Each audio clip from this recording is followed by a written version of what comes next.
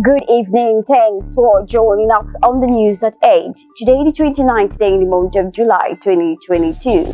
I am Grace Stokers Nikati for headlines. Abia government to partner Aba Chamber of Commerce on International Trade Fair. Another EndSARS may consume please. AIG wants. Replicate ICNP success in 2023 general elections. PDP charges INEC. We'll take commercials right back with details and many more. Stay connected. The biggest bang of the season is about to go down. It's the ABN TV Service Awards 2022 at Sheraton's Hotels, Abuja. Welcome back to all the details. Abia State government has cancelled the July monthly sanitation exercise scheduled to take place on Saturday, 30th July 2022. ABN TV reports that this is in view of 20, July 31st, 2022 deadline given by the Independent National Electoral Commission INEC for the conclusion of continuous voters registration exercise. The cancellation is to enable those that are yet to obtain a permanent voter's card to use the period to do so before the expiration of the deadline. The Secretary to the State Government, Barrister Chris, is in said this in a statement. Abia State Governor Okezie Ikpeazu has assured that the administration that his administration will partner the Aba Chamber of Commerce, Industry, Mines and Agriculture to ensure that the planned Aba International Trade Fair before the end of the year records overwhelming success. ABN TV reports. The Federal Capital Territory Administration said it has taken steps to reach security operations and collaborations with states contiguous to Abuja to curb rising insecurity in the nation's capital. Speaking at the FCT Security Committee meeting, the FCT Commissioner of Police, Sunday Babaji, explained that with the move security operatives in the neighboring states and the FCT will take to attack to the enclaves of the ter- terrorists terrorizing their territories the neighboring states are uh, Niger, Nasarawa, Kaduna, Kogi, Benue, and Plateau State. The Assistant Inspector General of Police in charge of Zone 2, Lagos and Ogun State, Adeleke Adeyinka, has warned his men to be more professional and civil while dealing with members of the public to avoid a repeat of nationwide protests such as EndSARS.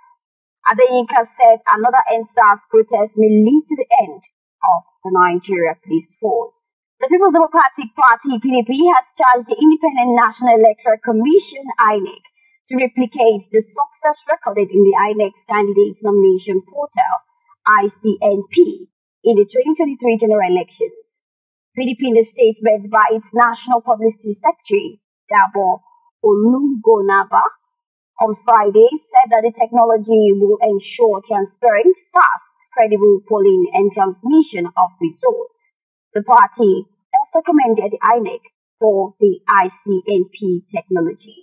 The Assistant Inspector General of Police, AIG of Police Zone 6, Kama, Kamaldeen Kola Okunlola, has disclosed that filming a police officer while performing his duty is not a crime, but legal and within the rights of citizens. AIG Okunlola made the disclosure at the Cross River State Police Command headquarters during a familiarization visit on Thursday in Diamond Hill, Calabar. The immediate past Minister of State for Education, Chukwuemeka Nwajiuba, and a group, Incorporated Trustees of Rights for All International, have filed an originating summons before the Federal High Court in Abuja, seeking an order declaring Nwajiuba as the authentic presidential candidate of the APC. The General Assembly of Christian Associations of Nigeria CAN has formally validated the electoral election of Archbishop Daniel Okoh as the new president of the religious body. His recommendations by an electoral colleague set up to screen and suggest candidates for the office of a president and vice president, respectively, as presented by the blocks that have right of nomination, was in line with the provision of the 2021 canon constitution as amended. The presidential candidate of the People's Democratic Party, Atiku Abubakar, has vowed to rescue Zamfara State from terrorist gangs that have killed, adopted, and displaced thousands of people if elected president. Mr. Abubakar made his promise on Wednesday night after he met with PDP's gubernatorial candidate in Zamfara State, Dauda Lawal Dare. The new president of the Christian Association of Nigeria, CAN, Archbishop Daniel Okoh, says many Christians feel and have the genuine fear that there is a deliberate plan to remove Christian faith from the scheme of things and make them second class citizens in Nigeria. He said the fear was born out of the recent happenings in the polity, that is, the same faith ticket in one of the major political parties in Nigeria, despite the caution raised by CAN since two years ago. Right Honorable Idris Wase, Deputy Speaker of the House of Representatives, says no government has touched the lives of ordinary citizens as that of All Progressives Congress APC. Wase spoke on Wednesday when he received a delegation from the Asiwaju Bola Tinubu Harvard Abad Support Group at the National Assembly in Abuja. While on the foreign scene, President Joe Biden and his Chinese counterpart Xi Jinping held a lengthy and candid discussion about Taiwan on Thursday as tensions mount between Washington and Beijing. Despite Biden's one-time hope of stabilizing the world's most important country-to-country relationship. While in sports, Leicester City defender Ashleigh Plumptre is delighted with her achievement with Nigeria since making her debut for the West Africans.